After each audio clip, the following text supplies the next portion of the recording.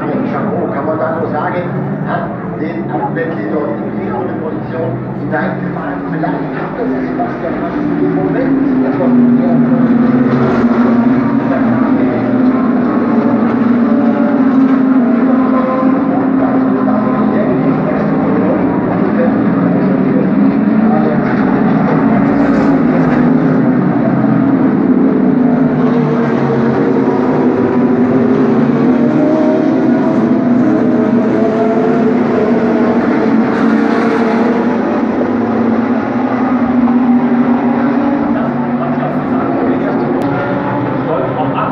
someone